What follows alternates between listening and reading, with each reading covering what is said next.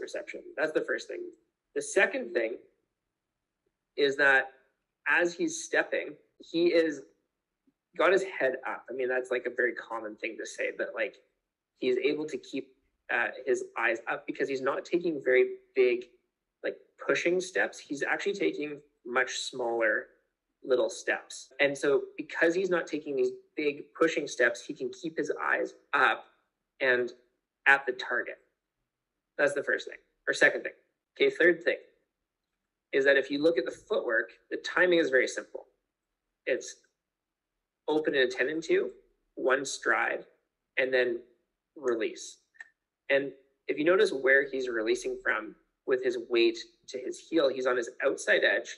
Look at that shin angle, and the weight is to the heel here, like this.